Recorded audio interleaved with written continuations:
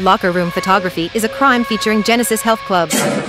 Here is Posh underscore fitness taking pics in the locker room, and here's evidence he's been doing it for a long time. Now Genesis can terminate this pervert's membership and the local police can investigate this criminal because locker room photography is a crime.